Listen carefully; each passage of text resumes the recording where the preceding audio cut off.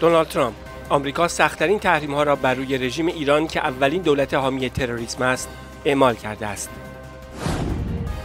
معاون ستاد مشترک ارتش آمریکا اگر رژیم ایران با منافع آمریکا درگیر شود پاسخ خواهیم داد.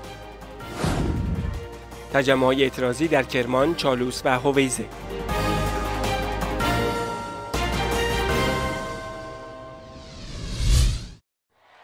دونالد ترامپ طی سخنانی در فلوریدا برای اعلام کاندیداتوری خود برای دور دوم ریاست جمهوری از جمله گفت.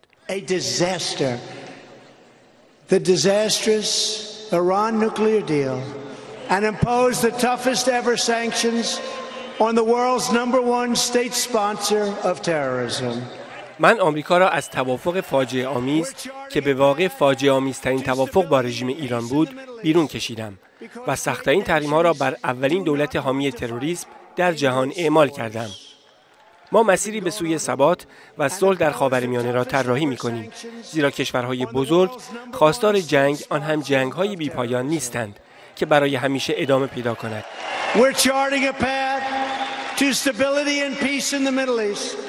Because great nations do not want to fight endless wars. وی همچنین طی مصاحبه گفت آمریکا روی رژیم ایران اشراف کامل دارد. نگاه کنید آنها چه کار کردند. من تنها درباره اتفاقات هفته گذشته حرف نمی‌زنم. در مورد سالهای طولانی صحبت می کنم آنها یک دولت تروریستی هستند. ژنرال پل سلوا معاون رئیس ستاد مشترک نیروهای نظامی آمریکا گفت اگر رژیم ایران به طور مستقیم با منافع و یا شهروندان آمریکا درگیر شود ما به آن پاسخ خواهیم داد. پی افزود رژیم ایران مشغول واکنش نشان دادن به فشاری است که به آن وارد می شود. تنها چیزی که فشار را کم می کند در پیش گرفتن مذاکرات است. مایک پومپئو وزیر خارجه آمریکا با فدریکا موگرینی رئیس سیاست خارجی اتحادیه اروپا در واشنگتن دیدار کرد. سخنگوی وزارت خارجه آمریکا با اعلام این خبر گفت در این دیدار چالش های پیش رو از جمله رژیم ایران مورد گفتگو قرار گرفت. از سوی دیگر یک دیپلمات اروپایی گفت فرانسه، انگلستان و آلمان تلاش های تازه ای را برای حفظ برجام انجام می دهند. اما در صورت نقض آن توسط این رژیم نقش این سه کشور اروپایی خاتمه پیدا خواهد کرد. به افزود ما اصلا در خصوص مسائل هسته‌ای بردباری نخواهیم داشت. کارگران سیمان کرمان امروز بار دیگر در اعتراض به عبور خط لوله گاز از معادن کارخانه سیمان که موجب به خطر افتادن امنیت شغلی آنها شده است در محوطه معدن تجمع کردند.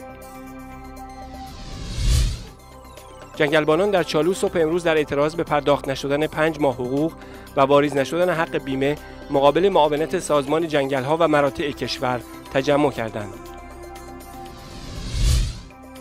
کشاورزان روستای شاه بهرام واقع در شهرستان باشت در استان کوکیلویه و بوی رحمت تجمع اعتراضی برگزار کردند. آنها در اعتراض به برآورده نشدن مطالباتشان برای جبران خسارت‌های ناشی از سیل در زمین‌های کشاورزی تجمع کردند. جمعی از شلتوککاران شهرستان هویزه به نمایندگی از سایر کشاورزان این شهرستان در اعتراض به نبود آب به دلیل خوش شدن رودخانه کرخه نور از شاخه‌های رودخانه کرخه در هویزه در مقابل فرمانداری رژیم در این شهرستان تجمع کردند. دشقیمان خامنه ای صبح امروز سه زندانی را در زندان مرکزی بندر عباس اعدام کردند. رژیم ضد بشری آخوندی هفته گذشته نیز چهار زندانی را در زندانهای گوهردشت کرج، گرگان و اردبیل به دار آویخت.